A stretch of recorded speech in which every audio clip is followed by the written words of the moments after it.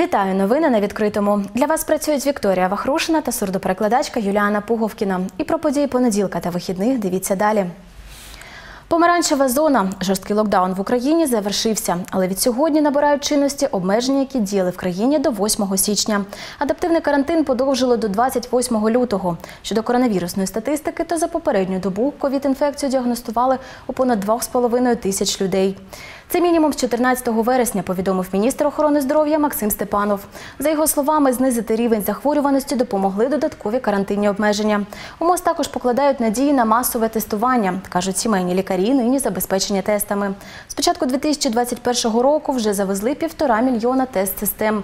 Лабораторії ж можуть проводити понад 75 тисяч аналізів за добу. Ми зробили пункти тестування. Їх 2373 пункти тестування цілком по країні. На сайті Міністерства охорони здоров'я ви можете, в залежності від того, де ви мешкаєте, де ви живете, можете знайти який найближчий пункт тестування і піти зробити тест. Дуже зацікавлені в тому, щоб робити всі ці тестування. Вони всі безкоштовні, підкреслюю, всі безкоштовні. Будь ласка, робити тести, здавайте тести. Це дуже важливо заради вашого здоров'я.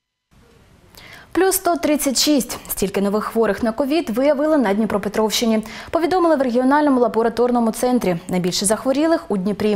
В обласному центрі зафіксували 99 випадків. Подолали недугу 68 мешканців регіону. Завантаженість ліжок у госпітальних базах області майже 27%. Зменшилась і кількість пацієнтів в обласній лікарні Мечникова. Наразі в ковід-центрі 41 людина, п'ятеро у реанімації. К сожалению, люди, которые попадают на аппарат искусственной вентиляции легких, лечение стоит крайне проблематичным. Да все, у кого сатурация низкая и объем поражения легких больше 60%, это уже рулетка в полном смысле этого слова. Локдаун закінчився, кількість транспорту у Дніпрі почали збільшувати. У транспортному департаменті міськради кажуть, з 8 по 24 січня пасажиропотік зменшився на 40%, а кількість транспорту на 10-15. На деяких напрямках було менше не лише маршруток, але змінилася і їхня класність. Замість великих автобусів працювали середні. Проте вже від сьогодні на вулицях міста працює 950 одиниць рухомого складу. Однак вже за тиждень-два пасажирів перевозитиме понад тисяча маршруток. Кожного дня обирається якийсь напрямок, наприклад, житловий масив Перемога або житловий масив Західний. Туди виходять наші спеціалісти та дивляться, яка ситуація з громадським транспортом, особливо на проміжних зупинках. Тому що через обмеження по кількості пасажирів салонних транспортних засобів е, на початку карантину у нас були проблеми з вивезенням і саме з проміжних зупинок. Зараз ми постійно це моніторимо та додаємо в випадках необхідності е, рухомий склад. Мандрували попри карантин та закриті кордони. Торік 4 мільйони українців відвідали Польщу. За даними прикордонної служби України, туди українці їздили найчастіше, а ще до Росії та Угорщини. Загалом у 2020-му понад 11 мільйонів наших співвітчизників відвідали 123 країни. А в Україну торік здебільшого приїздили громадяни Молдови, Білорусі та Росії.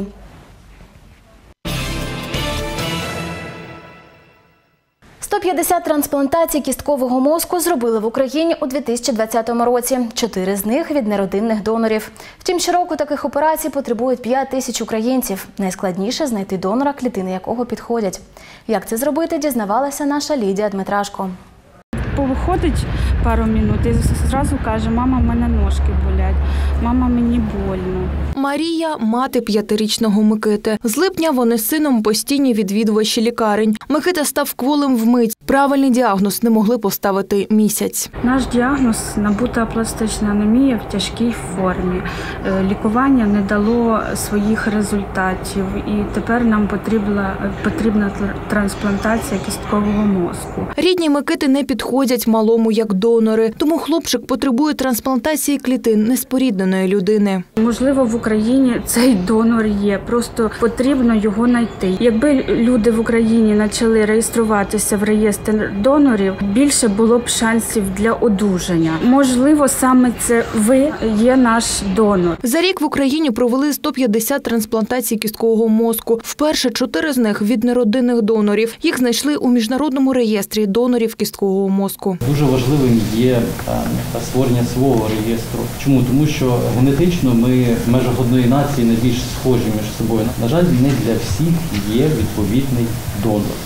Тобто статистика говорить, що лише для 75% людей такого донора можна знайти. Трансплантація кісткового мозку може врятувати життя онкохворого. За рік в Україні таких операцій потребують щонайменше 5 тисяч людей. Основними показаннями для трансплантації є е, лейкози, множина мієлома, лімфоми, лімфогранулематоз, а також ще декілька десятків захворювань. Звичайно, вона може подарувати е, людині надію на довге і здорове життя. Врятувати життя легко. Кожна здорова людина до 60 років може стати потенційним донором кісткового мозку. Для цього треба зареєструватися на сайті Українського реєстру донорів та здати еспрес-тест на забір ДНК матеріалів. для потенційних донорів віком 18-35 років є безкоштовною, але їхній аналіз оплачує Український реєстр донорів кісткового мозку за допомогою благодійних внесків, е, які ми отримаємо від небайдужих людей.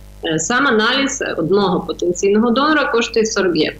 Якщо саме ваші стволові клітини підійдуть для трансплантації, ви станете донором. Сьогодні забір клітин можна робити без хірургічних втручань. Лікарі кажуть, процедура нагадує здачу плазми крові. За 5 днів ем, донору дають спеціальний препарат, який збільшує вихід стовбурових клітин у кров.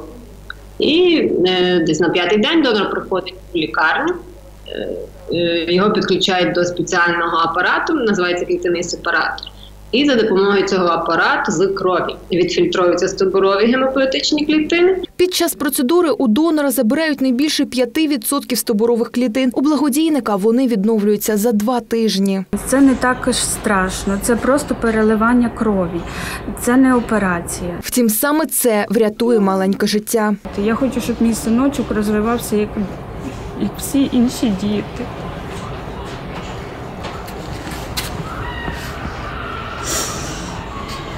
Був щасливий, і ходив в садик, як раніше. Лідія Дмитрашко, Сергій Язовських, Євген Куденцов, Open News, телеканал відкритий.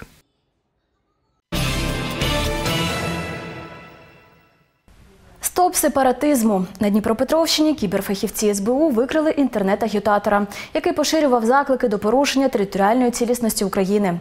За версією слідства, мешканець регіону, уродженець тимчасово непідконтрольної українській владі Донецька, розміщував на власній сторінці у соцмережі матеріали, які загрожують державній безпеці країни. Фігурант публікував матеріали на підтримку незаконних озброєних формувань ОРДЛО та анексії Криму. У мережі інтернет-агітаторів також були мешканці Херсонської, Полтавської та Закарпатської областей. Триває досудове розслідування. Під час обшуку за місцем проживання агітатора правоохоронці виявили комп'ютерну техніку і засоби зв'язку, які він використовував у протиправній діяльності. Лінгвістичною експертизою підтверджено належність виявленого контенту до матеріалів, які становлять загрозу державній безпеці. З машини діставали спецінструментами. На трасі поблизу села Піщанка Новомосковського району зіштовхнулися легковик та вантажівка. За попередньою інформацією, водій вазу не впорався з керуванням і врізався у тягач, що стояв на узбіччі. Удар був такої сили, що рятувальникам довелося вирізати людей з понівеченої автівки. В автотрощі 32-річний кермувальник отримав травми. Пасажир загинув на місці. Обставини інциденту з'ясовують правоохоронці. Постраждали троє, але вони вже вдома. У Павлограді на вулиці Заводській сталася пожежа у гуртожитку. Повідомлення до служби порятунку надійшло десь о 9 ранку. Вогнеборці, які прибули на місце, з'ясували, горить кімната на третьому поверсі п'ятиповерхового будинку. Через сильне задимлення вони моментально почали евакуювати мешканців. Вивели дев'ятьох людей, трьох з них ушпиталили. Проте загрози їхньому життю немає. Вони на амбулаторному лікуванні.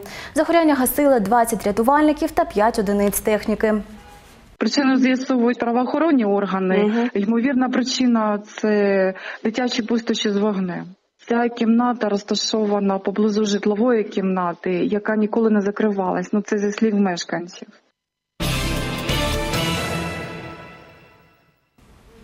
Від 5 тисяч до майже 7 тисяч гривень. Такі штрафи за відмову обслуговувати українською.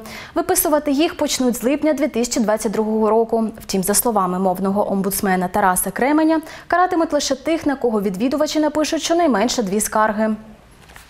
Це для злісних порушників, які принципово порушують права громадян, по відношенню до яких ми отримуємо постійні скарги. І таких скарг достатньо дві для того, щоб ми е, розпочали провадження, щоб ми підготували протокол і накладали штраф. Але знову ж таки, не лякаючи штрафами, ці штрафи можуть бути оскаржені в судовому порядку. Наразі це все, що встигаємо розповісти на цю мить. Та наша команда працює вже над вечірнім випуском новин. Більше інформації читайте на нашому сайті opentv.media. Дивіться сюжети в соціальних мережах та на нашому ютуб каналі. Залишайтеся з відкритим та продуктивного вам робочого тижня.